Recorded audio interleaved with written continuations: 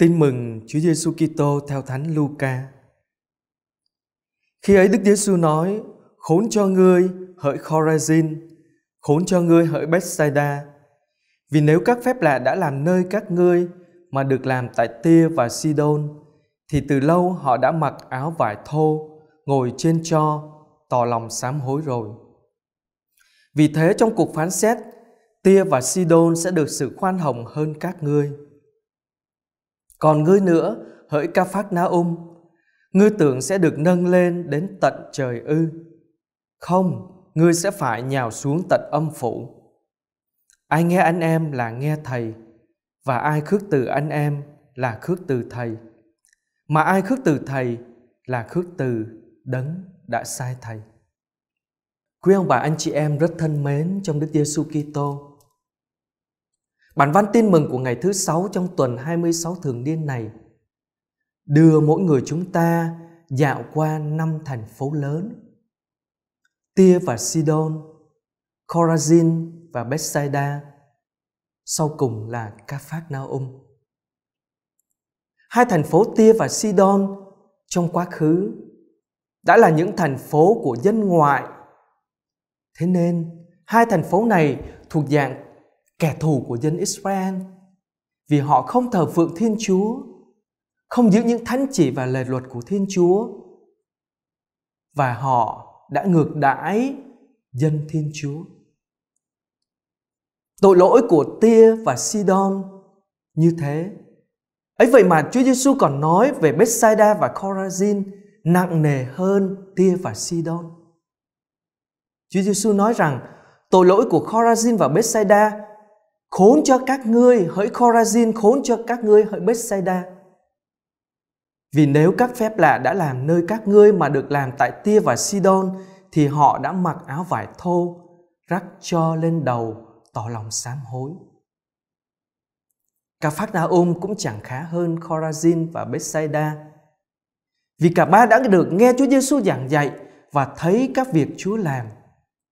Nhưng họ đã không nhận ra và thực thi điều Chúa dạy họ không hối cải và đã làm ngơ trước các đòi hỏi của tin mừng. Tội của ba thành phố này là đã quên trách nhiệm về đặc ân mà họ được được hưởng một cách nhưng không. Tội của ba thành phố này là tội thờ ơ nguội lạnh, không đón nhận lời Thiên Chúa. Quả thực ba thành phố này họ không công kích Chúa Giêsu cách trực tiếp, không loại trừ Chúa Giêsu, không tìm cách đóng đinh Chúa Giêsu nhưng họ chỉ không quan tâm đến sự hiện diện của Chúa Giêsu và những giáo huấn của Ngài. Sự cứng lòng của dân chúng trong ba thành này khiến Chúa Giêsu phải thở dài và đau đớn tiếc thương cho họ.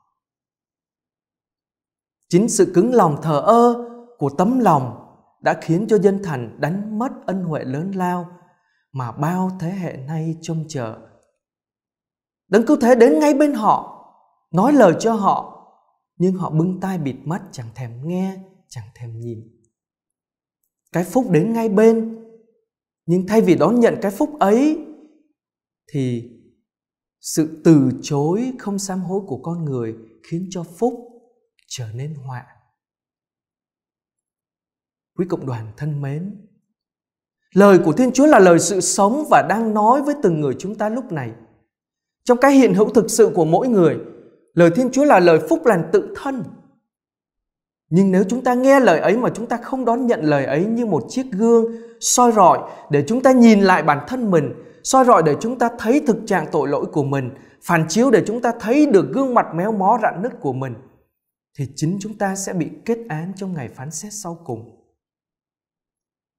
Lời Thiên Chúa luôn mời gọi một sự sám hối sau khi lời ấy giúp chúng ta nhìn thấy thực trạng của bản thân Điều quan trọng không phải là chúng ta đã được nghe lời, nhưng là sự đáp trả của chúng ta đối với lời nó như thế nào. Có phải là lời dẫn dắt chúng ta đến sự hoán cải và sám hối thực sự hay không? Tức là lời có biến đổi chúng ta nên tốt hơn hay không? Lời có sinh hoa kết quả trong cuộc đời của chúng ta được thể hiện qua những hành động, lời nói và việc làm cụ thể, mang lại những điều thiện ích cho anh chị em xung quanh hay không? Hãy nghĩ về một điều cụ thể Chẳng hạn mỗi người Kitô hữu chúng ta được nghe lời và đón nhận lời ngang qua việc chúng ta tham dự phụng vụ mà hội thánh mời gọi và trao tặng cho chúng ta hàng ngày.